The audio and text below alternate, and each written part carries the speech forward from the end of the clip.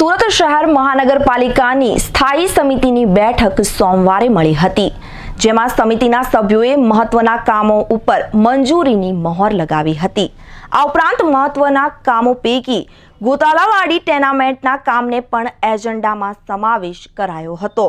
સોમવારે મળેલી મનપાની સ્થાયી સમિતિની બેઠકમાં કુલ છ જેટલા કામો એજન્ડામાં સામેલ કરવામાં આવ્યા હતા પાંચ કામો ઉપર મંજૂરીની મહોર લાગી હતી. જ્યારે મહત્વના કામો પૈકી ગોટાલાવાડી ટેનામેન્ટના કામને પણ એજન્ડામાં સમાવેશ કરાવી લેવામાં આવ્યું હતું.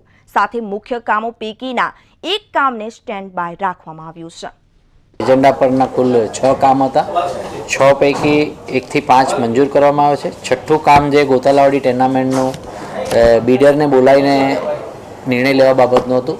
તે બાબતે એમણે કીધું કે ભાઈ હું રજૂઆત, ઓરલ રજૂઆત આવી ગઈ છે. બાકી રિટર્ન રજૂઆત એમણે સમય માંગ્યો છે.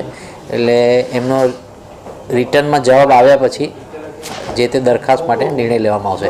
એટલે હાલ એવું કહી શકાય કે દરખાસ્ત મુલતવી રાખવામાં આવી છે.